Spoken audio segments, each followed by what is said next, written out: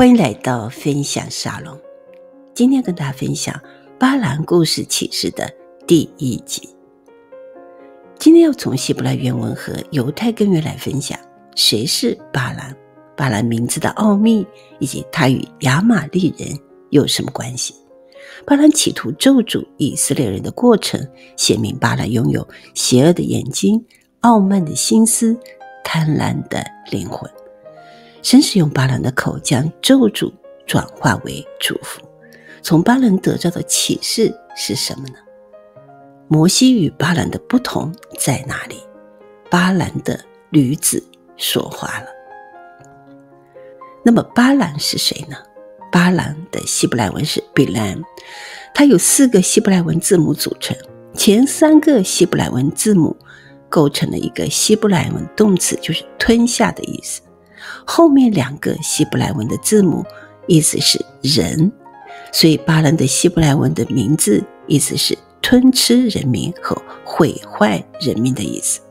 在申命记二十三章四节，巴兰是米甸人米索布达米亚比尔的儿子。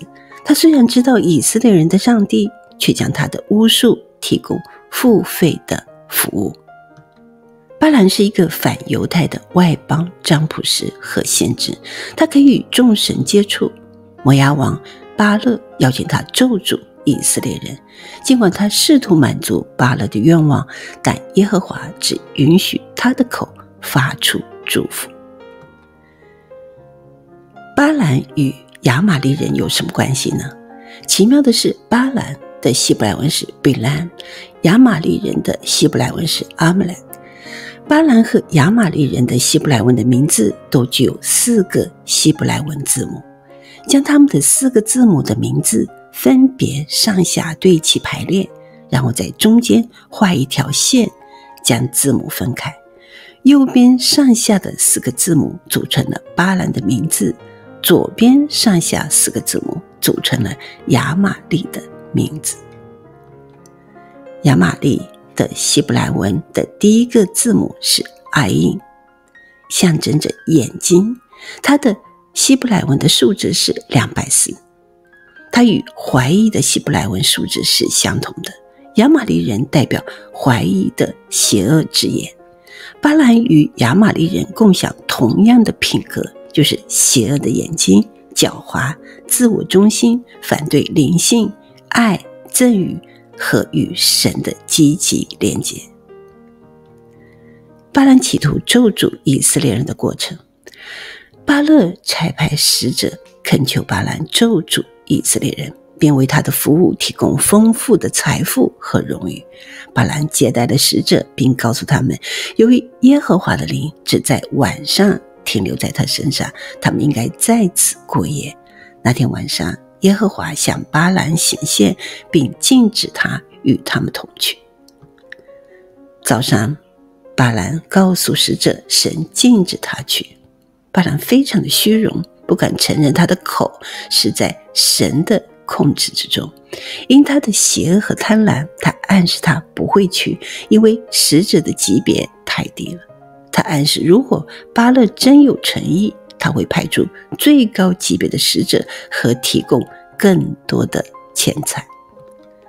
使者回到巴勒那里，传达巴兰的意思。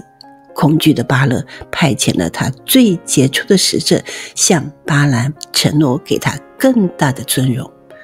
巴兰提醒这些使者，耶和华禁止他去，但补充说，他们应该在此过夜，他会再求问神。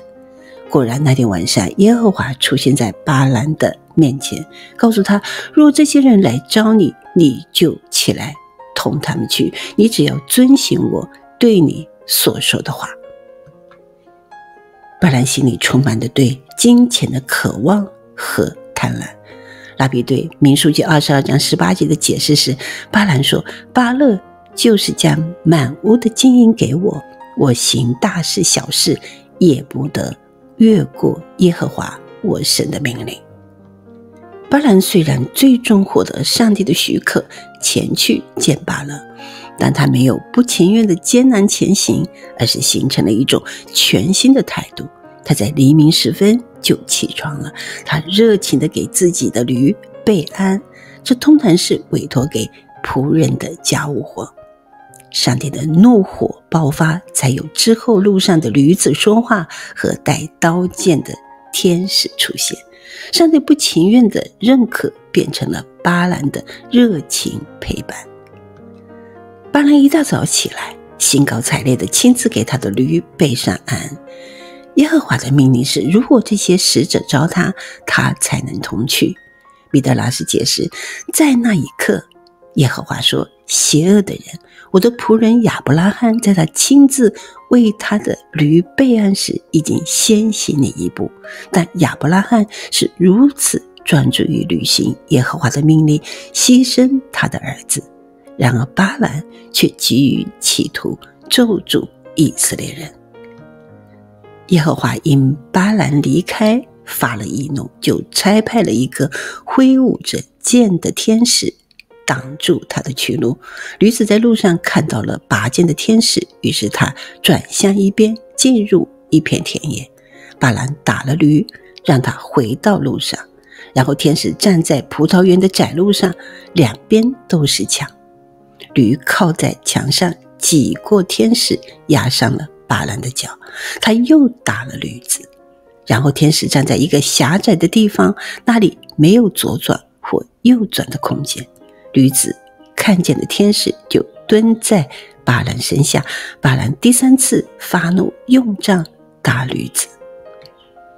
耶和华故意将天使隐藏在巴兰的视线之外，这样他就可以击打他的驴子。当驴子被击打，开口说话，随之而来的羞辱就会发生。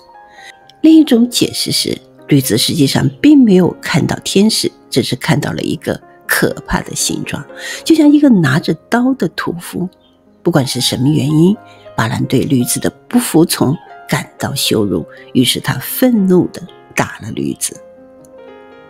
米德拉什解释。耶和华让驴说话，是为了向巴兰展示舌头和嘴巴，就是我们的言语，完全掌管在神的手中，以至于他甚至可以让动物开口说话。耶和华希望巴兰意识到，当到了巴兰咒诅犹太人的时候，他将完全听从耶和华的命令。耶和华开了驴子的口。他对巴兰说：“我对你做了什么？你打了我这三下。”巴兰对驴子说：“因为你羞辱了我。如果我手里有剑，我现在就杀了你。”耶和华打开巴兰的眼睛，让他看到一个拿着剑的天使站在他的面前。巴兰立刻下来跪拜。天使斥责巴兰踏上反对耶和华的旅程，并殴打他的动物。巴兰承认自己的犯了罪，并问天使是否应该转头回家。天使告诉巴兰和这些人一起去，但他只能说出耶和华神吩咐他的话。请继续观看《巴兰故事启示》的第二节。愿神祝福你和你的家人，帮你读书，帮你成长。期待开启更多的奥秘，让我们一起从希伯来原文和。犹太根源学习托拉，托拉是神的教导，人生的指南。欢迎订阅分享，刷龙受人给予一个祝福的赞美，愿神祝福你和你的家人。